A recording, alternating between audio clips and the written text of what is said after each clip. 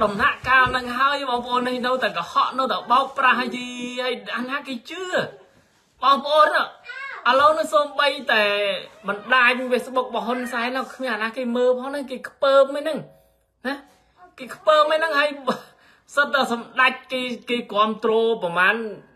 16 17លានអ្នកអឺសិតតែគ្នាហ៊ុនម៉ាណែតកាច់យក live មានអ្នកមើលប្រហែលអ្នកហ្នឹងហើយគេធ្វើអីគ្រាន់បើបាទ រាល់ថ្ងៃហ្នឹងណាបងប្អូនគេគិតថាពូជគេនឹងអស់ចាគេមានលុយក៏គេចង់ធ្វើអីក៏បានណាសម័យនេះណាសូមជម្រាបណាលុយអ្នកឯងមិនអាចយកមកទិញមនុស្សបានទាំងអស់បានទេអឺទិញបានមួយចំនួនអាហ្នឹងខ្ញុំមិនមានធានាថាវាមិនបានសោះទេវាបានមួយចំនួនដែរហ្នឹងឯងណាវាបានមួយចំនួនដែរប៉ុន្តែបើឲ្យទិញ មនុស្សនៅក្នុងប្រទេសហ្នឹងឲ្យទៅស្រឡាញ់ពូជរបស់ខ្លួនឯងហ្នឹងវាទៅមិនរួចទេណាណាក្បាលពោះកំប៉ោងរោគនៅរាល់ថ្ងៃហើយនៅគំនិតអាក្រក់នៅចិត្តអាក្រក់តាមចាប់គេទៀតឥឡូវនេះតាមចាប់ឥឡូវចេញដូចកាសមកប្រងមកព្រានហើយទៀតហីហើយចាប់ស្អីគេចាប់ម៉ែលោកហ៎អីក៏ភ័យអីភ័យម៉ែ ឮថាតឡាការបារាំងរស់ចាប់ខ្លួនលេមានអីដើរចាប់ឥឡូវប្រកាសចាប់ខ្លួនគេបដៅបដៅទៀតហើយបាទ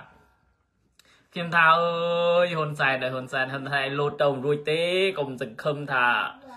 ចង់លោតជាមួយគេនោះវាទៅមិនរួចទេណាស្អីគេហ៊ុនម៉ាណែតកូនសិតតែរៀនស្អីណាវាខ្មោចទេរៀនអីគេហ៊ុនម៉ាណែតរៀនអីហ៎គេថា ថ្ងៃមុនគេប្រតិកម្មគេហ៊ុនម៉ាណែតគេថាចេះណាគេថាអូមានពួកប្រឆាំងគេថាគេនឹងនាំតែអ្នកវិនិយោគនៅចិនមកហើយតាមពិតគេវិនិយោគតែខ្មោចទេបើថាមិនខ្មោចទេបើមិនផេះទេមិនបាច់បើនិយាយទេមិនបាច់បោកប្រាស់ទេគេមិនបាច់ទៅមើលអីទេមិនណែទៅគេគេដឹងកាយោឯង បើនៅក្នុងប្រទេសនឹងមានក្រុមហ៊ុនណាមានក្រុមហ៊ុនរាប់រយរាប់ម៉ឺនរាប់លានក្រុមហ៊ុនចូលនៅប្រទេសកម្ពុជាគេមិនបាច់ទៅមើលអីច្រើនទេមិនបាច់ហ៊ុនម៉ាណែតឯងរៀបរាប់ទេគេមើលតែកម្មករនៅថៃទៅដឹងហើយ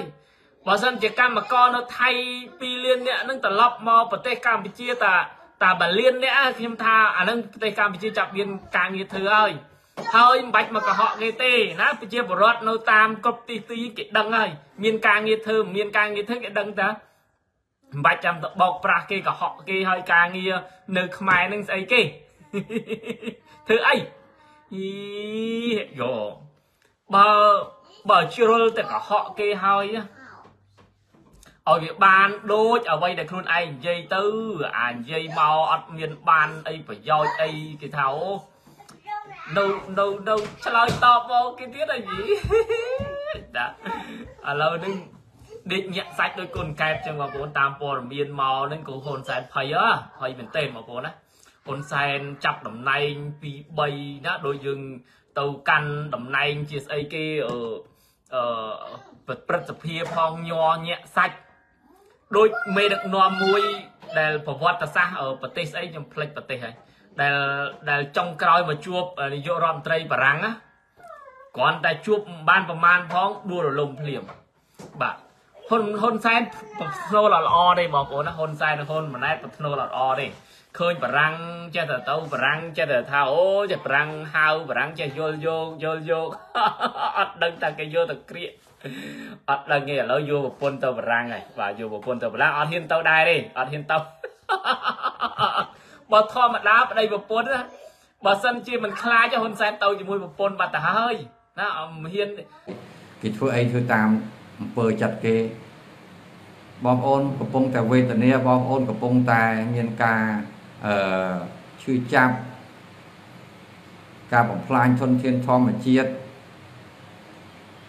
គឺអត់មកយកត្រូវមកបំរើឲ្យបងប្អូនតាំងពីមាសតាំងពីរ៉ែតាំងពីឥឡូវថ្មមកបំផ្លាញភ្នំបំផ្លាញគ្រប់បែបយ៉ាងគ្រប់ត្រីសាច់គ្រប់កន្លែងទាំងអស់ អាហ្នឹងតាមពិតវាជាប្រយោជន៍របស់បងប្អូនជាពលរដ្ឋខ្មែរយើងដែលដូនតារបស់យើងបន្សល់ទុកឲ្យហើយយើងត្រូវបានសុខទាំងអស់គ្នាយើងត្រូវទទួលផលប្រយោជន៍បើថាយ៉ាងហោចណាស់ក៏យើងមិនទទួលបានតែត្រឹមទឹកភ្នែកយ៉ាងដែរក៏យើងមានចំណែកនៅក្នុងការអភិវឌ្ឍយើងមានចំណែកទទួលផលប្រយោជន៍ទាំងអស់ហ្នឹងតែបែរអត់សោះទាំងរ៉ែមាសទាំងគីឡូទាំងគីឡូទាំងតោនទាំងតោននេះយកតាណាឲ្យធ្វើឲ្យប្រជាពលរដ្ឋកន្លែងខ្លះដាច់បាយរត់ចោលស្រុក ចំណាក់ស្រុកហើយធ្វើខ្ញុំគេជាពាក់គេបំណុលវាន់ក៏ដោយរោគស៊ីដោយសក់ណានាក្បាលនឹងអត់មានអ្នកទទួលខុសត្រូវមើលការខុសត្រូវចឹងឥឡូវយើងជួបហានិភ័យទៀតពងជួបហានិភ័យគឺកន្លែងដែលដើមចំបំផ្លាញខ្មែរកំតិចកំទីបំបីបំបាក់ឯកភាពជាតិខ្មែរហ្នឹងគឺគេនៅធ្វើរឿងដដែលដដែលហ្នឹងសម្រាប់ប្រជាជាតិខ្មែរហ្នឹង សូម្បីតែអង្គបោះឆ្នោតដែលត្រូវយកមកឲ្យមានសម្លេងខ្លះនៅក្នុងរដ្ឋាភិបាលដើម្បីកែដើម្បីទៀមទាតវ៉ាឲ្យរដ្ឋាភិបាលដែលជាស្ថាប័ននីតិប្រតិបត្តិហ្នឹងនីតិប្រតិបត្តិហ្នឹងត្រូវត្រូវអនុវត្តគោលនយោបាយរបស់ខ្លួននៅធ្វើអីដែលមិនត្រឹមត្រូវហ្នឹងក៏ត្រូវយកមកអនុវត្តតាមច្បាប់រដ្ឋធម្មនុញ្ញ តាមគោលនយោបាយរបស់ខ្លួនដើម្បីអភិវឌ្ឍហ្នឹងតែបើអត់តតសោះឥឡូវឃើញតែគម្រាមឃើញតែការទិញបខំគេចាប់ចងគេអាហ្នឹងជាដើមចមនៃនៃការបំបែកបំបាក់ឯកភាពជាតិខ្មែរឬក៏ធ្វើឲ្យឆ្នាំងបាយប្រជាពលរដ្ឋហ្នឹងស្ងួតធ្វើឲ្យអង្គក្នុងពីងរបស់ប្រជាពលរដ្ឋហ្នឹងអត់អស់ធ្វើឲ្យមហូបក្នុងចានរបស់ប្រជាពលរដ្ឋហ្នឹងគឺអត់មានមហូបសូម្បីតែបន្លែក៏បន្លែគីមីដែរ នឹងយើងនិយាយឲ្យងាយស្ដាប់កន្លែងហ្នឹងតែកាលណាគេប្លន់អំណាចបានជាពលរដ្ឋមានសង្ឃឹមអីទៀតហើយអំណាចគឺបានអីបានមកពីណាបានមកពីការបោះឆ្នោតបានមកពីតាមរយៈតំណែងរបស់ខ្លួនហ្នឹងឥឡូវត្រូវទៅប្លន់គេធ្វើបាបគ្រប់ពេលគ្រប់វេលាទាំងអស់ហ្នឹងបញ្ហាគឺកាន់តែធ្ងន់ណាស់ហើយវាមិនវាមិនតែប៉ុណ្្នឹងទេបងប្អូនបាទគឺវាហួសពីអ្វីដែលយើង គិតស្មានទៅទៀតថ្មីថ្មីនេះគឺមានសារព័ត៌មានរបស់រដ្ឋរបស់យួនណាគេផ្សព្វផ្សាយរឿងខ្មែរហ្នឹងឲ្យអាញាបានទៅអាញាបានបូមខ្សាច់ទៅឲ្យស្រុកយួនហើយពេលដែលគេចុះទៅខ្លួនឯងហ្នឹងបដិសេធដាច់អហង្ការ មានរឿងរ៉ាវតែបងប្អូនជឿទេព្រោះខ្ញុំធ្លាប់ដើរមានបទពិសោធន៍ច្រើនគឺខ្ញុំដឹងថាបញ្ហានេះជាបញ្ហាធំវានៅពីខាងក្រោយខ្នងបងប្អូនមានដឹងអតីតសម្បទានរបស់ក្រុមហ៊ុនរបស់យួនរបស់អាន់ចឡាយហ្នឹងវាទទួលបានប្រមាណគឺជាង2លានហាត់ជាង2លានហិកតាក្រុមហ៊ុនយួនមួយក្រុមហ៊ុនហ្នឹងគឺបែបផែនក្រុមហ៊ុនរបស់រដ្ឋរ បស់តាហ៊ានសោតធននិវត្តន៍ចឹងពួកនេះវាធ្វើសេដ្ឋកិច្ចនៅក្នុងលើទឹកដីខ្មែរហ្នឹងគឺវាដឹកយកទៅលក់នៅស្រុកវាគឺគឺវាធ្វើ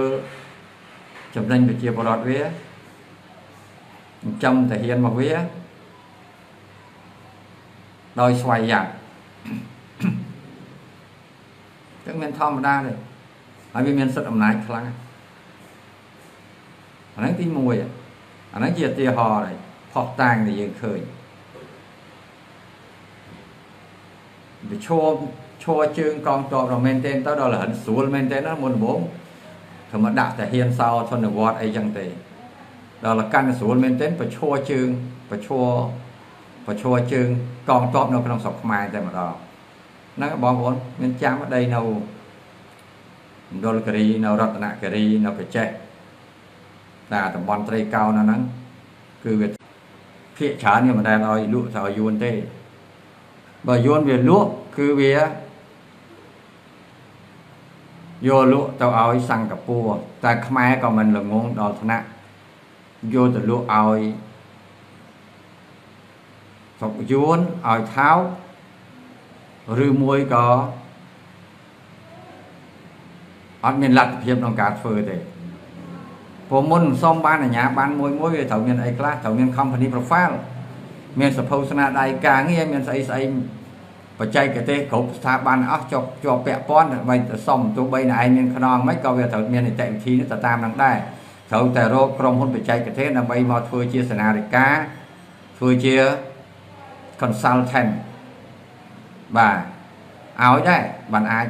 សន្សំបានអាហ្នឹងយើងនិយាយតាមមួយបែប ហើយថារឿងខ្នងវាខ្នងហើយបើអត់មានខ្សែតកូលហ៊ុនទេ គឺมันមានផលប្រយោជន៍ទេ គឺគេមិនមិនឲ្យដាច់ខាតក៏ប៉ុន្តែអ្វីដែលព័ត៌មាននេះចុះព័ត៌មានយួនវាចុះវាថាក្រុមហ៊ុនរបស់យួនហ្នឹងវាសម្លឹងឃើញខ្សាច់ហើយនឹងគ្រោះកម្ពុជាហើយគេដាក់សំណើទៅនាយករដ្ឋមន្ត្រីវៀតណាមកាលពីឆ្នាំ 2023ហ្នឹងតែដល់មកមកយើងនេះវិញគឺយើងប្រកែកយើងប្រកែកហើយជឿទេបងប្អូនជឿថាតើ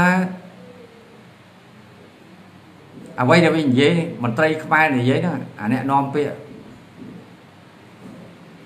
បស់ក្រសួងហ្នឹងនិយាយណាជឿយើងជឿជាក់បានយើងជឿវាអត់អាចជឿបានតទៅសោះព្រោះកម្រងផ្សេងផ្សេងកន្លែងខ្លះគឺត្រូវតែដេញនៅក្រុងហាណូយ ហើយយួនវាចង់បានហើយសួរថាឥឡូវប្រកែកមិនកើតទេហ៊ានប្រកែកទេហើយរឿងឯកសាររឿងច្បាប់ជាប់ពាក់ព័ន្ធអីទាំងអស់ហ្នឹងវាកលាច់តែបន្តិចទៅវាឥឡូវយើងមើលដូចខ្ញុំលើកឡើងបាញ់មិញរឿងដីចិត្ត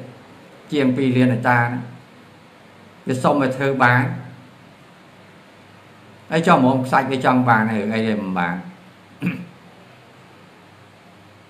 ហើយបើគេចោះច្បាស់ប៉ុណ្ណឹងហើយវាស្នើសុំច្បាស់ប៉ុណ្ណឹងហើយហើយនៅសង្ស័យមកទៀតសង្ស័យថាវាវាមិនគ្រប់គ្រងខ្មែរវាមិនអាយ៉ងយួនមកទៀតបងប្អូនមិនចាំទេថ្មីថ្មីនៅដល់ហ៊ុនម៉ាណែតទៅស្រុកយួនហើយចង់ឲ្យអារែងអឺ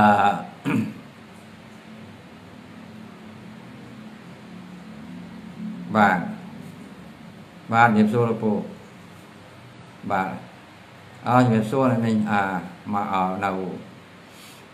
មិញលក្ខណៈអីបាទចឹងបងប្អូនឃើញថ្មីថ្មីនេះហ៊ុនម៉ាណែតមកពីមកពីអឺប្រជុំនៅស្រុកយួនវិញស្រាប់អាសុកសាក់យកអាក្រុមហ៊ុនឡានប្រើអកេសនីពីស្រុកយួនមកមកចង់ឲ្យរត់នៅស្រុកខ្មែរ បានថាមិនដឹងជាខួរក្បាលគិតពីអីបើមិនធ្វើឲ្យខ្មែរហិនហោចបើមិនបំផ្លាញខ្មែរបើមិននាំខ្មែរចង្រៃទេ គឺវាអត់ដេកអត់សុខដេកអត់លក់បក់មិនទៅហើយនឹងពូជពងវាហ្នឹងឥឡូវបកែកទៀតហើយបកែកវិញអានេះមេវាអ្នកចោះកសែតមេវាអ្នកចោះថាអាក្រុមហ៊ុនវាស្នើទៅនាយករដ្ឋមន្ត្រីយួនអញ្ចឹងហ្នឹង តែគេសម្លឹងឃើញខ្សាច់ហើយនឹងគ្រោះនៅប្រទេសប្រទេសខ្មែរហើយដល់ចុងក្រោយអាក្រុមហ៊ុនហ្នឹងវាបានមែនវាទទួលបានមែនហាឆ្ងល់ហើយបងប្អូនមានឆ្ងល់ហើយបើនៅតែគិតអីផ្សេងផ្សេងចិត្តគិតវាមិនយល់ដល់ផ្លូវហ្នឹងទៀតអាហ្នឹងមិនដឹងថានៅខួរក្បាលស្អីទេអាហ្នឹងខ្ញុំផ្ដាំផ្ញើទៅពួកអាអាអរគុណសន្តិភាពផង ពួកអរគុណសន្តិភាពហ្នឹងផងវាលមុំដល់ពេលដែលខ្មែរចេះស្រឡាញ់គ្នាខ្មែរចេះរួបរวมគ្នា នៅក្នុងក្របខ័ណ្ឌមួយដែលត្រូវស្គាល់គោលដៅឲ្យច្បាស់អត់មែននៅត្រេងត្រាងទៀតទេ យើងកំពុងតែធ្ងន់កហើយយើងកំពុងតែជួបហានិភ័យគ្រប់បែបយ៉ាងទាំងអស់នៅកចេះវាកាត់ភ្នំកចេះវាលក់ថ្មម៉ាបឲ្យចិនចិនវា កាត់ free free ដាក់ទៅស្រុកវាយកមកលក់ឲ្យខ្មែរទៀតបានថាបើការបំផ្លាញធនធានធម្មជាតិនឹងវាវាសាហាវវាព្រៃផ្សៃមិនដឹងថាយើងនិយាយអីដែលដែលនេះទេមើលអញ្ញាបានបងខ្សាច់បងខ្សាច់បុកខ្លាំងនៅតាមទលេមេគង្គទៅហ្នឹង មើលដឹកអាចូលលំពេញក៏ដឹកតាំងសឡង់តាំងសឡង់ឥឡូវបានដៃយួនបដ ாய் ធ្ងន់បដ ாய் ខ្សាច់ហើយមានចំណូលវល់លានដុល្លារហើយប្រជាពលរដ្ឋចាំតបាក់ច្រាំងចាំតលិចផ្ទះទៅ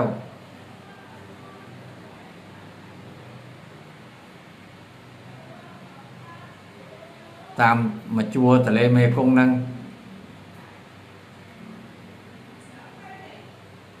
វាមិនដឹងថាបើមិនបំផ្លាញខ្មែរហ្នឹងគឺវាទៅដល់រួចទៅចង់ដល់អាកន្លែងអាកន្លែងធ្វើឲ្យគេទឹកភ្នែកហ្នឹងបងប្អូននឹងឃើញបើខ្សាច់នៅកោះប៉ែនខ្សាច់នៅអឺកំពង់ចាមអត់ក៏ហមប្រាលឡើយចាប់ដើមធ្វើទៀតហើយ នៅកចេះអីកកោវាមិនយល់ទេវាពិបាកដល់អាកន្លែងណាដែលនេះហ្នឹងគឺបាច់ទេលេខ1មកវាត្រូវស្ដាស្ដាទាំងបឹងទលេសាបស្ដាទាំងអឺតាកវៃកវលកវៃកវលហ្នឹងគាត់ណាបំរើនៅអាក្នុងស្រុកហ្នឹងនៅតែខ្សាច់ឡើងថ្លៃ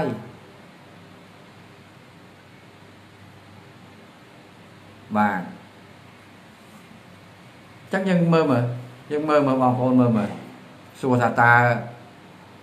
តើស្រុកខ្មែរវាកំពុងកំពុងតែគ្រោះថ្នាក់ដល់ណាដល់ថ្នាក់អញ្ញាបានខ្សាច់សោះយួនវាកំងមកតាំងពីស្រុកវាវាមកយកខ្មែរបោះខ្មែរវាមិនដែលអាក្រុមហ៊ុនហ្នឹងវាទៅស្នើសុំយុរដ្ឋមន្ត្រីវាបាន ចឹងវាមានកសែតវាចុះទេចឹងបានន័យថាខ្មែរនឹងកំពុងតែធ្ងន់កខ្លាំងហើយក្រោមការដឹកនាំរបស់តកូលក្បត់ជាតិហ្នឹងថ្ងៃសិលហ្នឹងមិនថានិយាយទៅគឺនិយាយហ្នឹងឲ្យចំចំទៅបងអត់មានទៅនិយាយអីមូលប្រកាច់ឯងទេព្រោះទង្វើតែឯងវាចេញមកវាអញ្ចឹងបាទអត់មូលប្រកាច់ទេឥឡូវឃើញច្បាស់រឿងច្រើន វាលមុំគ្រប់គ្រាន់ហើយសរុបផែនការសរុបតាំងពីកាត់ដីតាំងពីឲ្យគេចូលមករស់នៅស្របច្បាប់តាំងពីអាអត់ស្របច្បាប់នឹងអនុញ្ញាតឲ្យគេរស់នៅព្រំដែនគោកទាំងដីសំប្រទានគ្រប់កន្លែងនៅមណ្ឌលគិរីឲ្យយួនមកចូលកាប់ដូចឈ្មោះគោកាប់ព្រៃជួលឡើងខ្មែរកាប់ទៀត គ្រប់កន្លែងយ៉ាងនិយាយទៅដណ្ដើមការងារស្រុកខ្មែរជប់ខ្មែរឡើងវេទនាឡើងរត់ចោលស្រុកលហេមលហាមគ្រប់គ្នា ណាមិនស្អោញ៉ាំស្ងោណាមិនស្ងោហីអារោងចាក់ធំគេមានកម្មករ25000នាក់ហ្នឹងបាត់ទៀតរើសអឺចាប់ដើមបន្ថយបុគ្គលិកទៅ តិចទៀតលេងល្បិចដុតរោងចក្រអីចឹងទៅប្រាប់អខ្ស័យធនលែងចេញលុយអតីតភាពរបស់ការងាររបស់ពលករទៀតបានថាល្បិចគ្រប់រឿងទាំងអស់គ្រប់រឿងទាំងអស់អាហ្នឹងឯងមកពីរឿងខួរក្បាលហ៊ុនសែនដែលប្រើអាច្បាប់បំផ្លាញខ្មែរប្រើអាច្បាប់បំបែកបំបាក់ផ្ទៃក្នុងខ្មែរច្បាប់គណៈបកនយោបាយ ស្អីអស់ហ្នឹងអាហ្នឹងរឿងទាំងអស់វាកើតឡើងទៅមកមនុស្សមួយក្រុមហ្នឹងឃើញបងប្អូនខ្ញុំធ្លាប់បាននិយាយពីមុនមកធ្លាប់ទៅទៅដល់អីនេះចောင်းចៅនេះដល់ឃើញអាអាគារគេសាងសង់អាគារនោះសាងសង់អត់ទាន់ហើយទេតែមានពួកម៉ាក់មួយវានិយាយប្រាប់ វាដឹងរឿងវានាំខ្ញុំចូលទៅមើលណាក្នុងហ្នឹងសិតបងប្អូនឲ្យសិតតកម្មករយួនទាំងអស់យកមកពីស្រុកយួនតែម្ដងហើយគេប្រាប់ថាកម្រងសាងសង់ផ្ទះល្វែងហ្នឹងទៅហួសតាមម្ដងចំចៅទៅហួសដើមថ្នោតមកជួទៀបទៀបហ្នឹងប្រហែល4 10ដើមមកជួក្នុងស្ដាមដៃហ្នឹងនៅសល់ប្រហែលជា50ម៉ែត្រទេក្នុងឆ្វេងដៃអាគារហ្នឹង តាមផ្លូវជាតិអឺលេខ3ផ្លូវជាតិលេខ3សាងសង់មិនទាន់ហើយអាគារហ្នឹងគឺយកកម្មករយួនសុទ្ធមកធ្វើអត់មានយកខ្មែរមកធ្វើហើយមានច្បាប់ឯណាអនុញ្ញាតហើយប្រាប់ទៀតថាកម្រោងផ្ទះល្វែងនឹងគឺគេដេញគេដេញថ្លៃនៅហាណូយគេដេញថ្លៃនៅហាណូយបាទគម្រោងហ្នឹងគឺគេធ្វើចឹង ខ្ញុំបានចូលទៅដល់